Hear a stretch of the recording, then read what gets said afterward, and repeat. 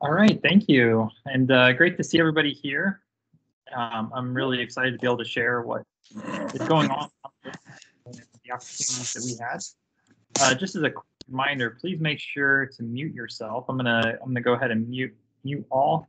Um, and then at the end, when there's a chance for Q and A, uh, obviously you can unmute and communicate.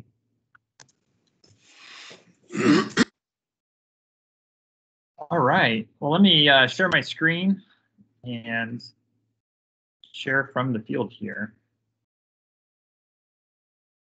As many of you know, we spent uh, just over two weeks between Malawi and Zambia, end of May, early June.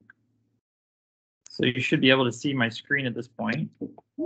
And there's just uh, amazing things going on in, in that part of the world that we wanted to bring back the stories and, and to be able to share what what so many of us are doing together. Really, we're just the tip of the iceberg. We're we're just the ambassadors when we're traveling in these countries and working with our various partners and our own staff and country.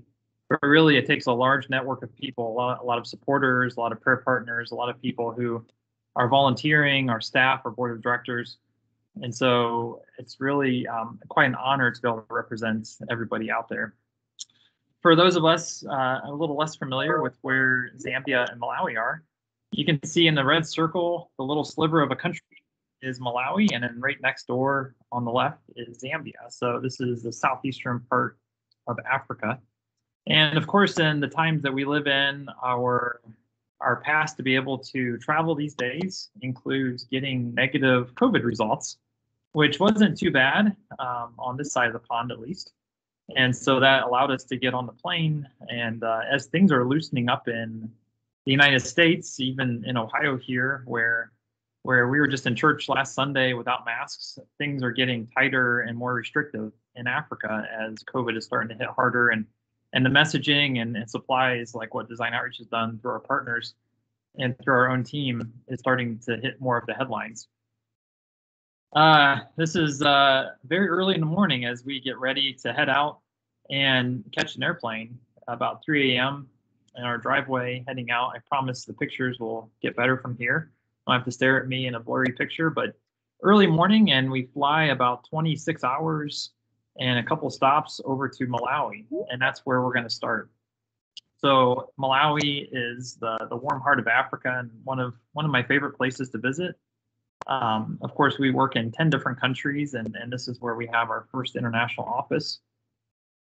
Um, on arrival, Dixon picked us up in our Land Cruiser, and this was at our lodge that we stayed at initially on the first night. So the plan was to fly into Lilongwe, the capital, and go from there across the border to Zambia to start our work in country. And uh, you probably remember from last last year in December, we were able to go over and start our, our field office. And so that was really the, the launch of the building, of the warehouse. And this is Ray, who traveled with me on the first part of the trip. Ray is, is quite an amazing guy in himself, uh, retired recently from Kellogg's in Michigan and works essentially full time with Design Outreach and is one of our, our travel members uh, who goes and helps build capacity in the different countries we work in. He had just gotten off a plane from Guatemala, and a few weeks later, he's turning around going to Malawi and Zambia with me. So this is our office in Malawi, and as I mentioned last December, we just set this up, and, and part of the work that was even done between then and now was building some shelves and getting more organized, which was always good to see, including our warehouse, which is on the right hand side. It's the inside of a 40 foot container, still looking really good, well organized. Our systems are working. And on the left is not a jail cell, but that's where we put our backup generator so that it's well ventilated and is not uh, doesn't doesn't grow legs and walk away. And so that was new since we were there. That was just being built and got finished in the meantime since December. So part of the work was was going across the border into Zambia. Now this is me once again, of course, eating one of my favorite foods when I'm traveling in that part of the world, which is a samosa. So if you've had the chance of being part of our our life in Malawi events, you'll you'll get to experience samosas and maybe even made samosas. And so this is basically fast food in Malawi. And so we're driving to the border here. The border crosses into Zambia, and this is near the city of Chipata. So Chipata is a district in, in the town there. And that's where we have some new LifePumps going in right now.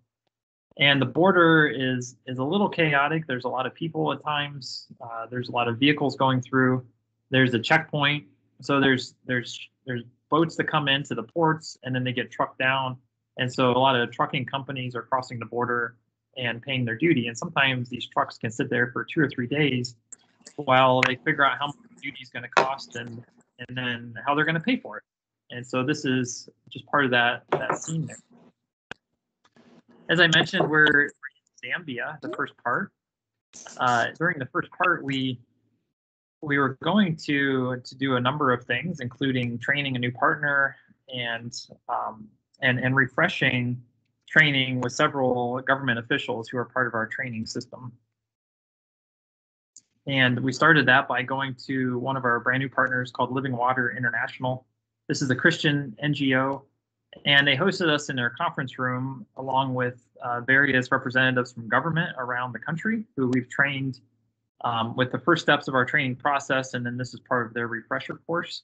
So you can see um, there's there's people from town councils and city councils from different areas of the country, and so they all came together in the western, the eastern side of the Zambia, sorry, in order to um, be part of two installations and a refresher on the theoretical classroom part of the work that we do. Um, and and part of that is is just reminding best practices and procedures. So as we've created extensive manuals, um, these manuals are are they kind of look like an IKEA style manual, and so it's supposed to be easy to follow uh, with very few words and to be able to refresh people who've been trained in person. And so part of that is laying everything out, making sure that nothing's missing. If there's even one thing missing, it can it can mean the difference between getting a pump installed or not. And so that's a really bad day. And one of the big steps is training, making sure that everything is there, the tools, the parts. Our first village was this village called Longway.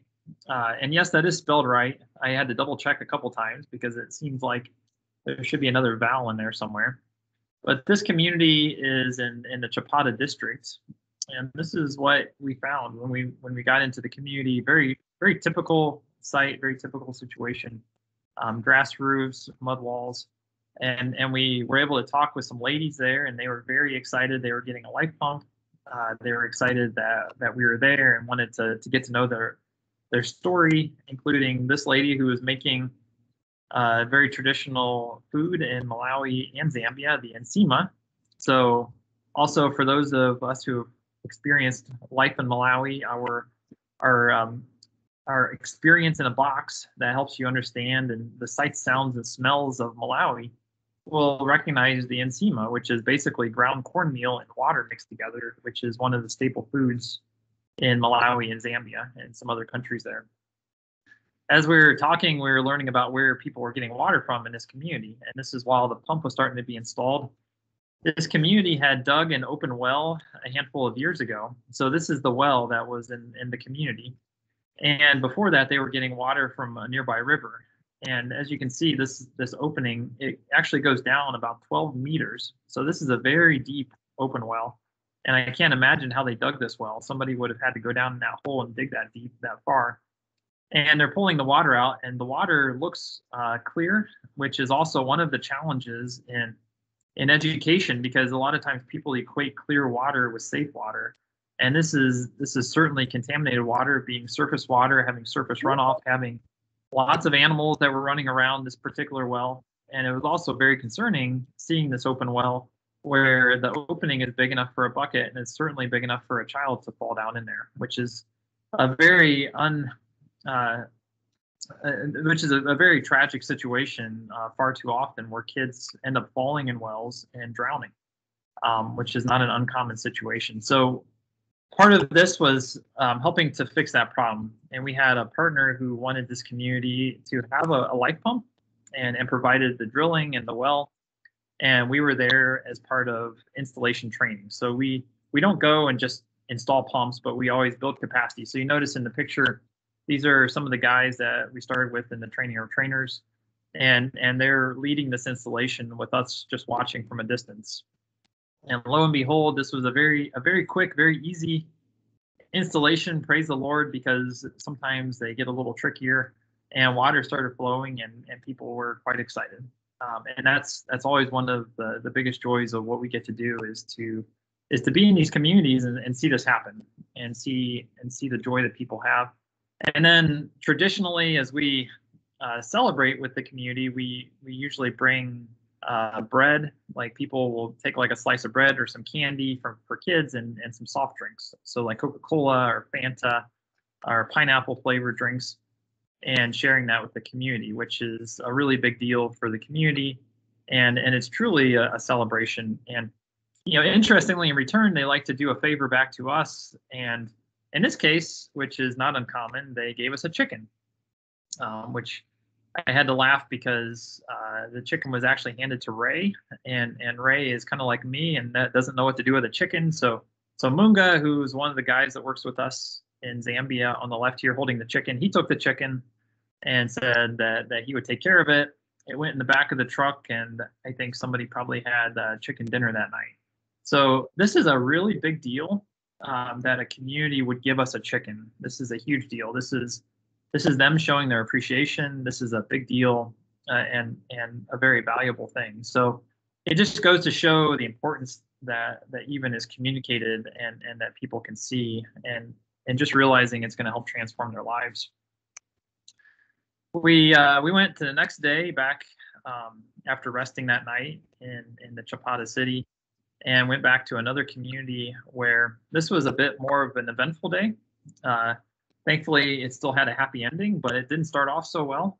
Uh, one of one of the first things is we're driving along. We went out about 45 minutes, and next thing I know, I I hear that that telltale sign, uh, that sound from the truck, and sure enough, we had a flat tire and these are these are just very difficult roads. Um, they're they're big. They have big ruts. They have lots of rocks, and it's not uncommon to get flat tires, even with uh, reinforced sidewall vehicle tires um, on these uh, sort of essentially off-road vehicles that we call Land Cruisers here.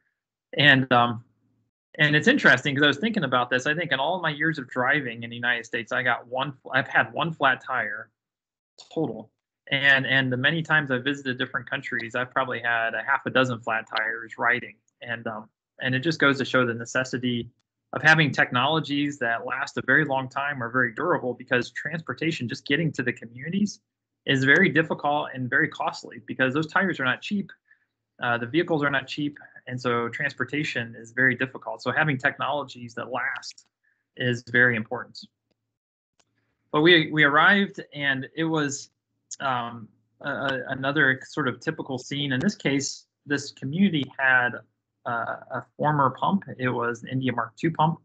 The pump had been installed a number of years ago, and it's had lots of breakdown issues. And so, Living Water International, our implementing partner in this case, decided to replace that pump and do a retrofit with a LifePump, which is a common way to use LifePumps and this community had experienced a lot of breakdowns and and um, and it was just really hurting the community and it was a fairly large population about 2000 people lived in this area so we got started right away uh, the the community was watching in anticipation um, our pump crew was was uh, they got started right away got got working and then in the meantime we found a little bit of shade and and gathered the community so there were a lot of people gathered around, and you can see Beatrice and you can see uh, the gentleman standing. His name is Victor. He was from Living Water, Zambia. And they presented to the community. They shared with the community uh, why they were there, what they were doing. They shared the gospel, and it was very clear and it was it was very exciting to be there and see the response from the community members. And um, and you can see there's a few chairs, which which is always a little awkward for somebody like myself, where you see all the people sitting on the ground and they put the few chairs that they have from the community up front where the special guest in this case um, the the crew from living water and from design outreach were able to sit and this is this is a way of showing appreciation and honor um, and so it was it was a really really neat time. We recorded several testimonies from different community leaders and just how uh, they've been struggling with water problems how they're thankful they're getting a LifePump. It's just a really neat thing to be able to witness. However, while we were doing this, uh, Ray came walking over and gave me a little thumbs down, and and right away I knew this wasn't good uh, because we were almost ready to move everybody from the shade over to the pump and and see water flowing and lots of celebration. Um, the problem was that the pump had been put in, and they started turning the handles, and no water was coming out, and and no one was quite sure why that was. So by the time I got over to the pump, which just which, which was just a short walk, uh, we got over there, and they were already pulling the pump out to investigate what the problem was. And so we're speculating, we're guessing, we're trying to decide, you know, what to do next and what what could possibly be the issue, um, because there's very few things that could go wrong, and but but clearly something wasn't right, and so we they pull it completely out and we can't find a single thing wrong. And I'm on the phone. I had cell phone signal in this area, and I'm, I'm talking to a couple people in the U.S. here who have had experience putting in lots of pumps, and and and we we're scratching our heads, and so we decide, okay, let's put it back in. So they put the pump back in, and when the pump is almost completely installed, somehow a bottom section of pipe came unscrewed. And thankfully, it didn't fall through because of the drive rod being connected. Long story short, the pump had to be pulled out a second time. Now, this was 18 sections of three meter length pumps, and pipes, which takes about an hour of hard lifting to get this out of the ground. And this is all done manually. And so by the time the second time happened, we're now scratching our heads even a little harder, trying to figure out what's going on. And they pull the pump out, and we decide, okay, it must be a loose joint at the very bottom section, which was the only place that could possibly possibly be the culprit. And lo and behold, uh, they tightened it, but at this point, it was starting to get dark because in Zambia, in this part of Zambia, it's pitch black at 5:30 p.m. And I thought for sure we are going back to the hotel. We're coming back first first light in the morning on Saturday. And next thing I know, they tighten up the bottom section even more. And next thing I know, they're starting to put the pump back in. Well, in this at this point, we're just doing this by headlights because there's there's no more sunlight um, available. And I was just uh, really struck at this point in this moment of of the endurance and, and determination by the pump technicians to put this pump in regardless because you can see just a little bit of a glimpse here how many people are sitting around watching. It's pitch black uh, doing this by headlight. And i was just really encouraged that the pump technicians were not ready to go back to the hotel and, and come back in the morning but they knew people needed water that night they needed water um, not the next day 12 hours later or something um, long story short, and praise the Lord, the pump goes in this time. It works perfectly. There was a big celebration, and it was time to go back, um, which was uh, kind of a, a, change of plans for us. So we had to find a hotel at 10 o'clock at night, which is not the simplest thing to do in Zambia, but we were able to find a hotel and rest and, and head back to Malawi the next day. Ah, a lot of good stuff going on. Um, and so we head back to Malawi. And this is Sunday now. Uh, Hugo and Bree, who are shown in the left, they ended up joining us uh, in Malawi, so they came a few days later. Hugo and Bree are Americans. Uh, Hugo is an engineer, works for Design Outreach, and they're moving as a family to Malawi in three weeks. And so part of our trip and part of the work we were doing in Malawi was um, ensuring last minute details were set up. Um, and, and part of that was we got to visit a couple churches and, and worship with local believers in fact, this day they were doing baptisms, which was really neat. And we got to witness that and be part of um, this church celebration. We also uh, were able to enjoy lunch together with another missionary couple from the good state of Ohio. Um, on the left is Tad and Carly. They're missionaries at an orphanage in Malawi. And we connected with them maybe a year ago through some other um, connections and contacts in country. And so they've been very helpful with Hugo and Bree in helping to think through what life is going to be like there, thinking through and working the immigration process and finances and banking and all the things that that we just take for granted living in a country that we know well. And so we were able to have lunch with them and and that was a really nice time. And then we drove to where the, the guest house is being finished. So these are this is a building that we're going to be renting and you can see uh, Hugo and Bree here. This is where they're going to be living. And then for those of us who have the opportunity to visit, uh, this is likely where we'll, we'll, be staying. And so the guest house is going to be a really great launch point uh, for teams and for guests that come to Malawi with us. And you get a bit of an idea of the construction here and and and the necessity of a fence. And there's going to be razor wire. This is just the realities of of living in a place like Malawi. Uh, inside, it's it's a pretty pretty straightforward. Um, the walls are actually not wooden, but they're brick that have been plastered over, tile floors, and this is this is going to work out really well for our team. and we're very excited that this will be ready um, literally in a nick of time for them to move over. Part of the the work that we had to do was to figure out furnishings. Uh, where where do people sleep and and so forth. And there's some imported furniture from mostly from China, um, which can be very expensive and it's imported from China. Or you can go to the local markets and people are making furniture by hand, which is kind of like stepping back a couple hundred years in, in time where people are hand planing boards and, and making uh, really nice looking furniture uh, the old fashioned manual way, which is uh, probably what we're going to end up with. And so we're really just sort of investigating where to get stuff and what the cost might be. Um, and then the first week when Hugo and Bree move to Malawi in July, they're, they'll be actually getting this furniture and what they might need. And then another part of that day was visiting where Dixon and his wife Rhoda live. Um, they had been renting a house for all these years, a small home uh, near to this one, which is their new home and they've been building this house for the last eight years. So in Malawi, there's there's really a lack of financing. You don't you don't take a loan, you don't get a mortgage for a house and build it. You literally build the house brick by brick yourself. So molding your own bricks and and and putting the bricks up and and plastering over and and everything that you can do manually, you do. And so for the last eight years, they've been working on this house. And just this last year, they were able to move in and are super excited. And it's really um, it's really a great opportunity for for them to minister to people in their local neighborhood and uh, are just a, a, really neat couple and are hosting three kids that are not even their own in their home um, which is a very typical um, situation where you have siblings of, of, of other family members who can't take care of their kids for one reason or another. And so they've really opened up their home to take care of a lot of families we had the opportunity to go back to Chikwangwala village. This is a community that we visited in December. And if you were uh, tracking back then and, and, part of that update, uh, we actually installed a pump with our partner in Chikwangwala. And we wanted to go back and follow up and, and actually shoot um, a short documentary on the community and see the progress and how things are going. So along the way, we're uh, picking up people to help us. Um, in the vehicle here was um, a couple gentlemen. One translated for us from English to Chichewa, another was a keyboard player. So we were planning on uh, collaborating with Africa Enterprise, which is a Christian organization that was sharing the gospel, and these guys were hitching a ride in our Land Cruiser.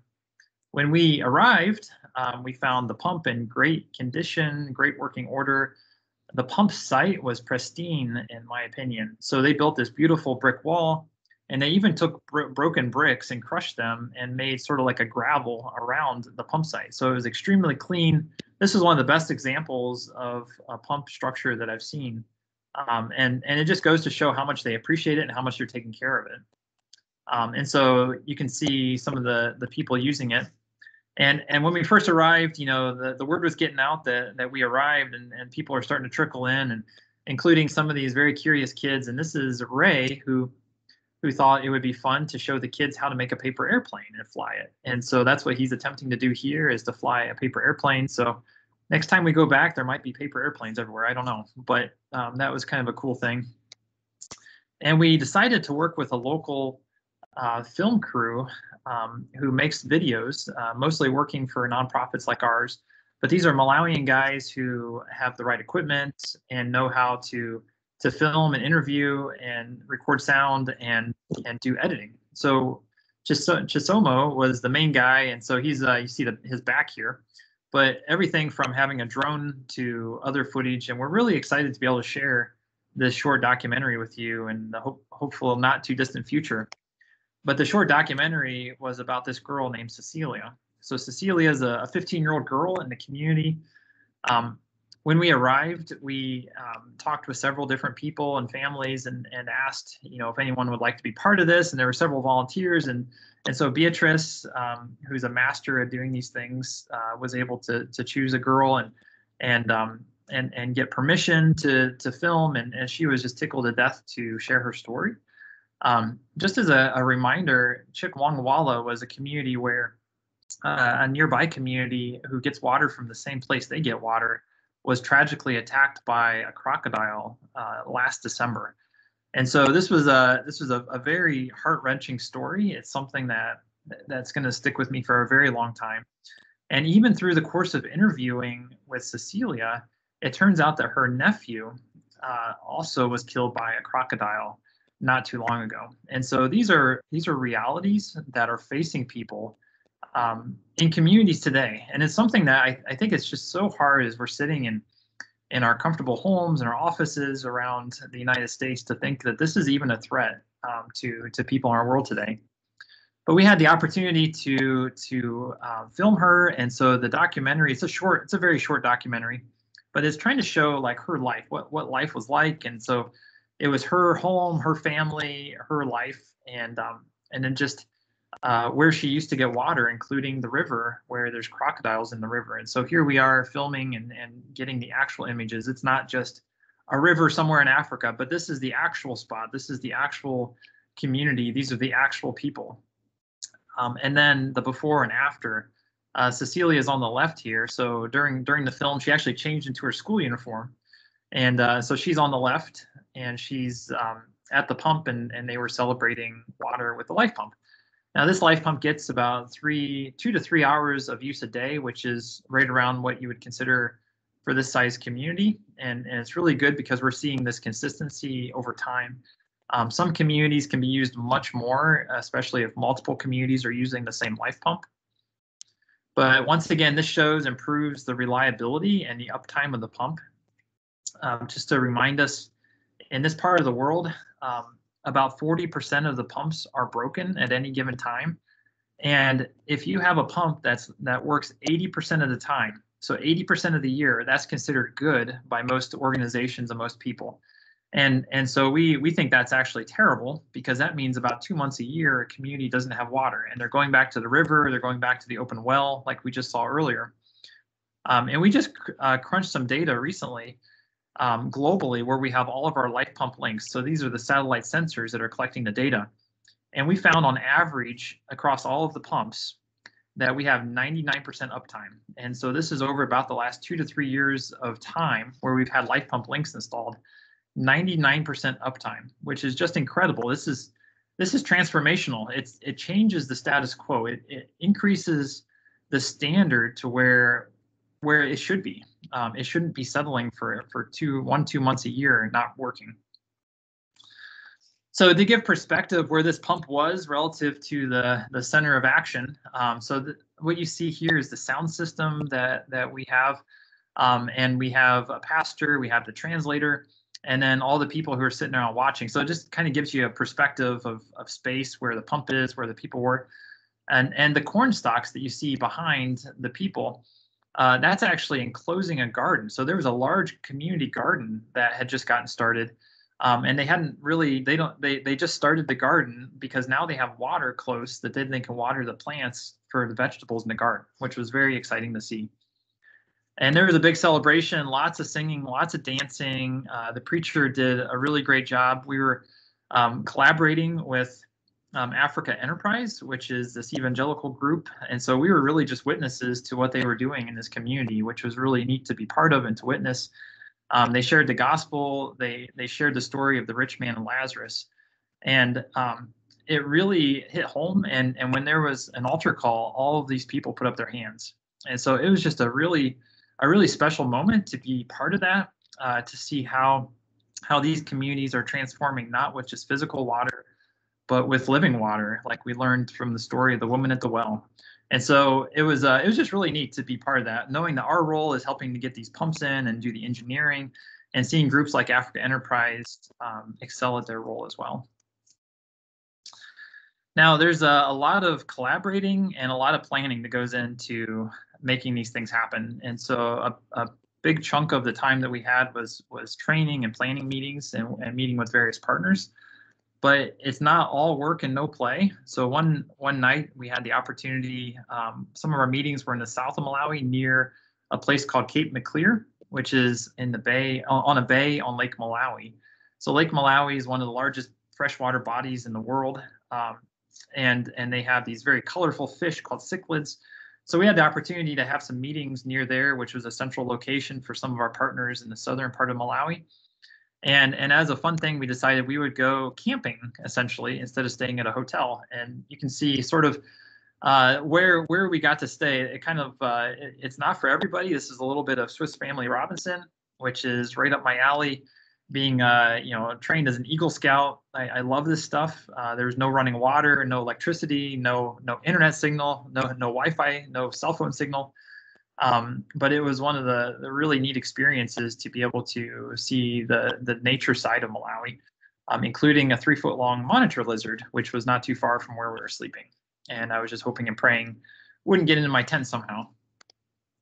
But our time was spent uh, primarily in planning and strategy meetings. So here we are with Beatrice and Dixon.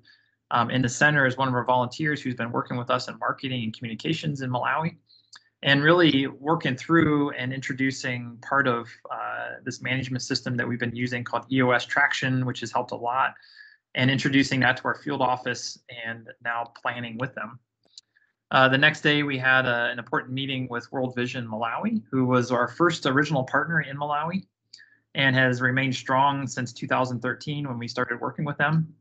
And in fact, they announced that they're putting in and, and, and funding 15 more LifePumps um, by the end of this year in just Malawi. So it's really, really neat to see how momentum is catching and how uh, people are excited about LifePump and how uh, LifePump is making such a difference in so many communities. Uh, we also met in a couple occasions, a couple different pastors, which I felt were very inspirational to me. So Pastor Zizi in the left and, and Pastor Gibson on the right um, pastors from both the north and the south parts of Malawi. And just hearing their stories and, and just hearing about what's going on in these countries and, and the rural areas and the challenges they have um, is, is very uh, motivating to want to do more. Uh, we, we wrapped up the day uh, with meetings, uh, meeting with the Rotary Club in Malawi in Lilongwe. So this is this was actually a celebration dinner that we were invited to, um, where uh, just very very recently in the last couple weeks we've learned that the Rotary grant that we've been working on for seemingly two years has been officially approved. That the funding is in and we're ready to roll. Where this is putting in 20 LifePumps with Rotary and so Rotary is funding these LifePumps. We're putting in 20 LifePumps across Malawi and providing training and capacity building and uh, and supplies for COVID as COVID is starting to get worse and worse in that part of the world. So this was a celebration and, and very exciting that, that we got to be part of that. There were something like 27 Rotary clubs in Ohio who are part of this project. So this is a very large Rotary project and, and we're very blessed to be part of that. Now, of course, getting out of Malawi is not undifferent from getting into Malawi. And so you have to get a, a COVID test to also exit. Uh, this one was a lot less pleasant than the first test in Ohio. I liked I liked the guy in Ohio a lot more than the guy in Malawi um, when he took the sample. Uh, but nevertheless, we survived and we got our test results back. And and lo and behold, I'm still negative. Um, so I can shake your hand. Now, there are, um, uh, you know, some things about Malawi that, that never cease to amaze me. Um, you know, things I'm learning even after visiting now for eight years uh, and numerous trips and and really, um, you know, loving Malawi and the people of Malawi. Uh, number one is um, if you're ever in short supply of battery acid, you can buy battery acid at the local grocery store. So if you happen to be in Malawi, um, don't fear if you need battery acid, it's available. And also, um, you can get honest to goodness uh, ice cream in Malawi, which was the first time that I had ever experienced this. And I had to give Beatrice a hard time because um, I'm not sure how I haven't known this for eight years now. But if you go to Malawi, and I hope you do, and have a chance, um, you can get real, honest, good ice cream at, at, a little ice cream shop that that we were introduced to. So there's some really good things about Malawi besides uh, you know all the other good things I talked about. Um, and I also have a lot of hope as we're as we're talking about um, helping to solve problems. Really, it's it's a matter of empowering people. It's not it's not a matter of coming in and doing. It's a matter of coming alongside, providing resources, technical assistance, but training and empowering. And and I was just encouraged by um, what I saw at a local uh, soccer game, also known as football in Malawi, a very very popular sport in Malawi. We're driving along and and um, and we wanted to get some some video of these kids playing and and so we stop and so you see in the, the right picture uh, there's Dixon there's Bree and they're they're out there with the camera and and they were using this homemade soccer ball, which I felt um, was was very intriguing. So I, I love the the creativity here, the innovation. What they did is took a balloon and they basically wrapped it with rubber straps, and then they wrapped like a plastic bag around it with some some string. And and this is not a soccer ball that I think any of our kids would ever play with, but these kids were having the best time, and they were amazing. They they were they were playing soccer better than I could ever imagine playing soccer myself, and and better than probably you know most of us could ever imagine playing soccer. And yet they were having a great time with essentially something that cost nothing. And and they were very creative in creating things like this soccer ball. And so i'm, I'm very encouraged by if we can be the catalyst if we can help tweak just the right things come alongside not take shortcuts not not have too low of a standard but have the right quality standard have um, have have endurance and perseverance these countries are going to thrive and that's that's very exciting um, and so I just really appreciate you know everyone who's been part of this to to help make that happen. Now, on the way back, this is uh, us us returning. Uh, I mentioned on the way to Malawi, it's about a 26-hour flight and combination of flights. On the way back, it's it's a 30-hour combination of flights because you're going against the wind. And so this is Hugo and Bree. Uh, Hugo looks like he's ready to take his uh, COVID shot there. Um, but there I am uh, at, at the airport, landed in in um, in Washington Dulles, and this was my re-entry meal. I got a potbelly milkshake, and um, I can't tell you how good that tastes after about two weeks of traveling. Um, but on the airplane, I've also learned how to cope with airplane food, and if if those of you who have, have been on these long international flights, you probably know what I'm talking about. So I, I usually subside on a, a diet of of tomato juice uh, tea because it's been boiled water and uh, bottled water because you need to be hydrated. And so that's usually probably why I usually lose a couple pounds on these trips. But if you would join me in um, in, in praying for a number of things that are going on around the world. First of all, Hugo and Bree are moving July 8th, and this is this is a huge deal for this couple. Um, I'm just very inspired by by people coming alongside and and doing God's work and um, and and putting their their their neck out there and, and saying I'm willing to take the risk. I'm willing to move to another country. Young people who are stepping up to the plate and really making things happen. Um, it takes all of us. It takes people in behind the scenes, on the back line, you know, people who are doing the engineering, people who are giving financially, people who are praying, people who are making connections and managing. But it also takes people on the front lines. It takes people who are willing and able to be in country and to live and breathe that. And so Hugo and Bree are going to be a huge part of that uh, going forward at our Malawi office. Uh, we have LifePump installations currently going on in Haiti, which was a, a, big a big deal because the, the the situation with security has been a big issue there for quite a while. Um, our Golden Cup Ride, which is a big fundraising event that's kicking off next week officially, and hopefully you're involved. And if not, would love to share more um, is kicking off next week to fundraise for seven more LifePump Plus campaigns in the country of Malawi, which is very excited and much needed. Uh, we also have more pumps heading to Malawi and Zambia in September. That that that shipment and that container would get off in time. We have a container in route presently on a truck somewhere in Eastern Africa heading to Zimbabwe for more LifePumps that are going to be installed and we have a team as soon as that as soon as there's confirmation that those pumps have arrived at the compound there's we have a team that's ready to go and help provide training for those LifePumps and assist. And then we have LifePump updates going on later this year in kenya. And lastly we have an august shipment of LifePumps to guatemala. So as you can see there's a lot going on um, around the globe. It's not just malawi but there's a lot of very exciting things. Um, the world is is still a difficult place to live in. Shipping logistics has gotten even harder because of COVID. Um, raw materials have increased in price, but nevertheless, people's need for what we're doing is still there, if not even bigger than what it was before. So I just want to end on this. This is my my uh, youngest daughter, and um, and she's modeling the Golden Cup Ride T-shirt, which uh, turns out that she's uh, wearing the T-shirt backwards, but she thought that the golden cup should be on the front versus the back. So she decided that, that she'd wear it this way.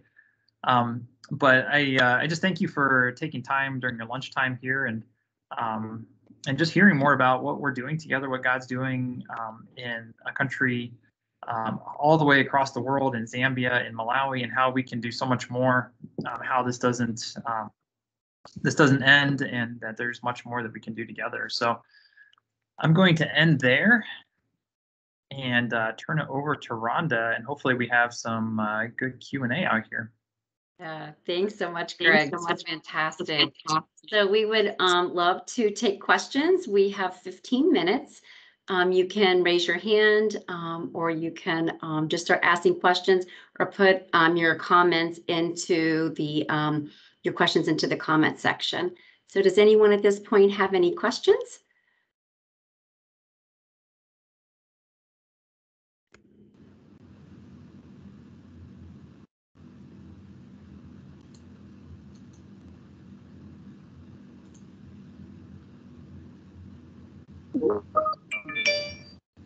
Right. So we- have one question um, from Greg Kramer. Here, What is your most urgent volunteer needs? yes. Yeah, thank you, Greg. Um, and, uh, and and I should also mention the project that, that you're working on with us and and some others even on this call.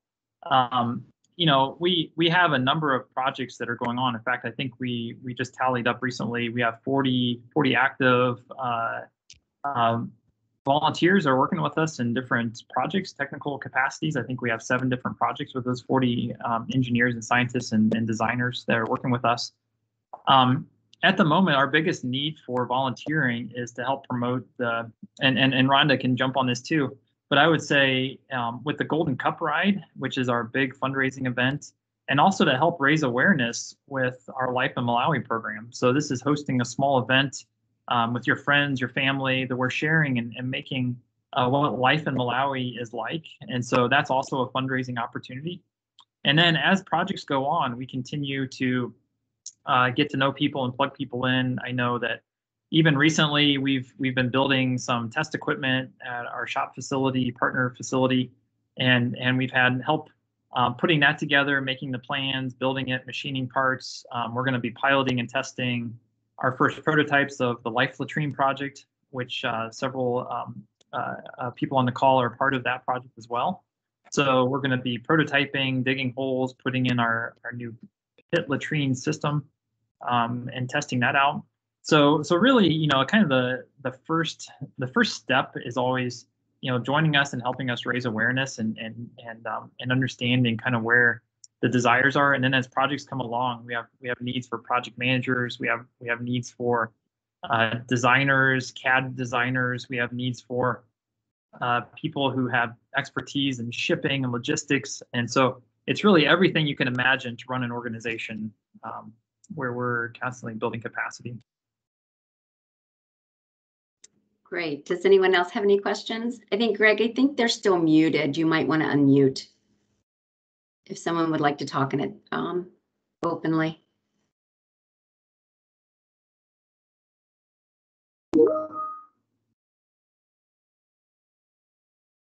All right, I see a question here.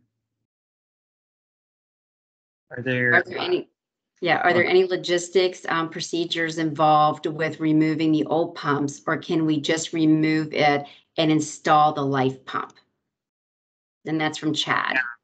Yeah, great question. Thanks, Chad. Um, re- really, it's uh, the the answer is um, it's it's not too difficult, um, assuming that the well was installed correctly in the first place. So essentially, when we're doing a retrofit, it's a matter of pulling out the old pump, which can literally take 20 or 30 minutes, depending on how deep it is. And and we can use the exact same well. We can use the same pump stand. So we designed the life pump so that we could do retrofits, um, which is which is a typical scenario where a pump has been installed beyond its design depth, um, or the well was drilled deep enough, um, but the pump can't go deep enough. So there's actually much more well that you could go down further. And so we can pull out the old pump and we can put in a new pump without any problems. And and generally speaking, that works really well. Where where uh, one could run into problems is if the well itself was not drilled properly, which unfortunately uh, there are a lot of quality control issues out there with well drillers, and so it's it's a cutthroat business in many cases where contractors are cutting corners, they're putting in wells that aren't deep enough, they're drilling during the wet season, uh, where there's water um, at, at a shallower depth. And then during the dry season, it goes dry. And so that's actually a huge problem in well drilling. So when we're doing retrofits, we want to know what the well history is. Was this well properly developed? Um, is there a proper liner? Um, does it run dry during the dry season if there was another pump on there? And if it checks all those boxes, which which uh, you know when when you ask the right questions, you can figure it out. Then then there can be an installation. There's been there's been a few cases over the years where LifePumps have been put on wells that are seasonal, which then is, is a huge problem because what happens is the water drops below where the pump is set. And that's really a hydrological problem. That's that's not a pump problem. And so in those cases, the wells have, or, or sorry, the pump has to be set deeper, or the well has to be a new well has to be drilled deeper.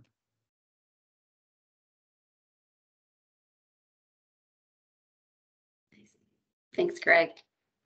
Do we have any more questions?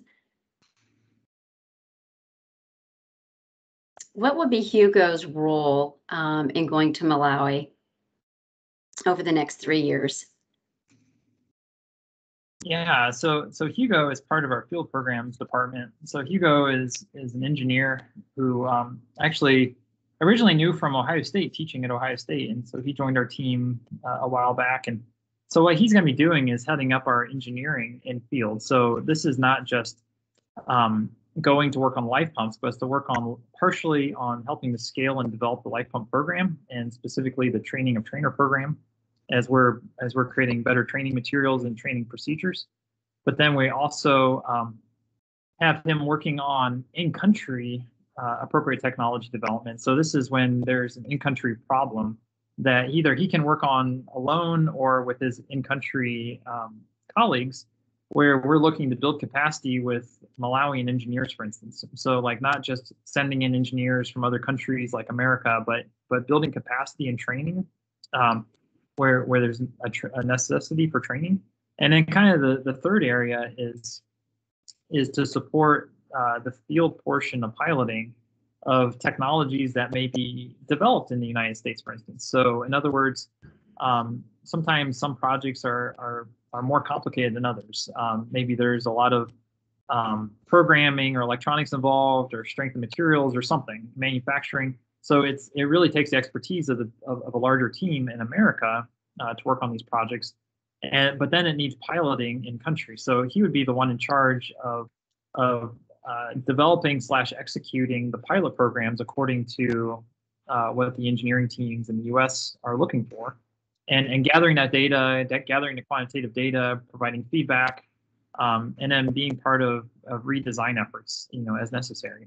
So it's a really critical role in, in providing that, that in-country real-time support. Um, sometimes uh, there's there's issues that that we hear about, and and um, you know you might hear, oh the you know for example, in the pump, you know, it might be, oh, the pump is, um, you know, not producing as much water as it used to, or the pump is making a funny sound.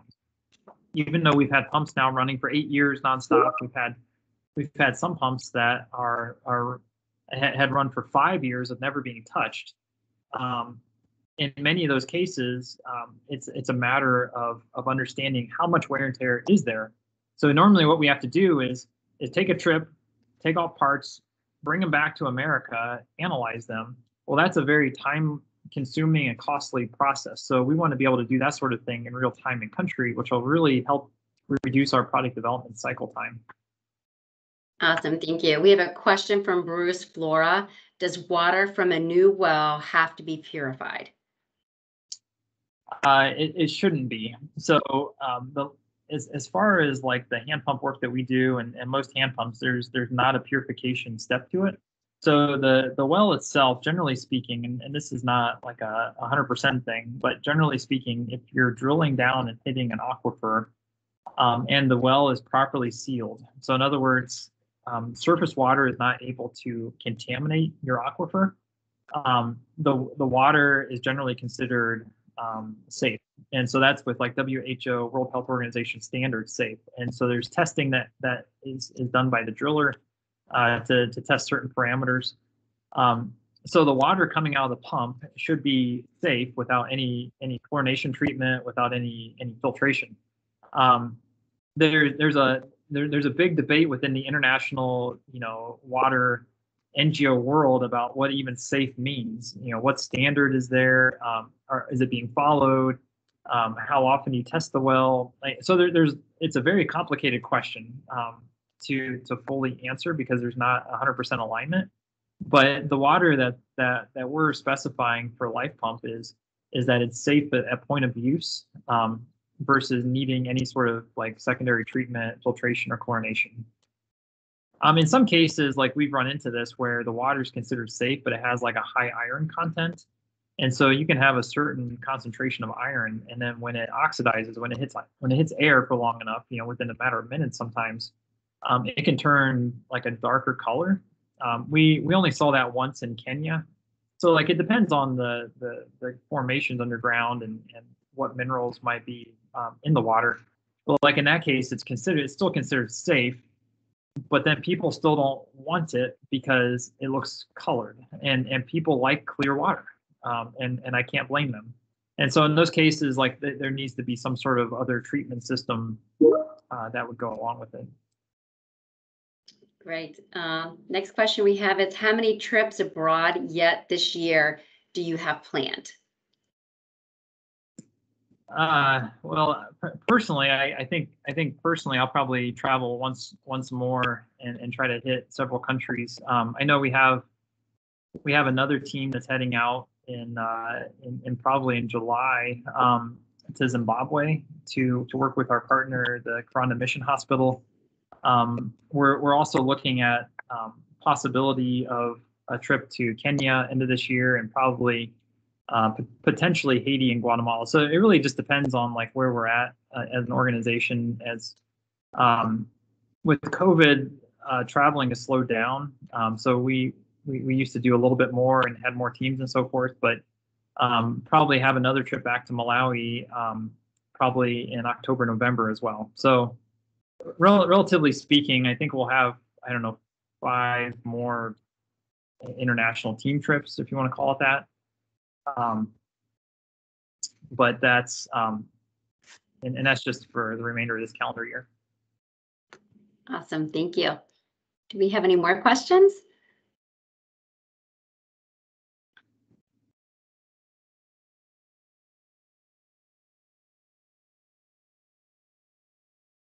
Great. Well, if we, um, we don't have any more questions in the chat, um, we are going to give you back a few minutes of your time. We want to thank you for participating today. Greg, thanks so much. And thanks for all the wonderful questions. Um, you'll be able to um, share, we actually recorded the um, meeting, so you'll be able to share this recording and um, you'll be receiving it in your June e-news, which will go out on Thursday. So thank you again. Thank you, Greg and Rhonda. Much appreciated. Very informative.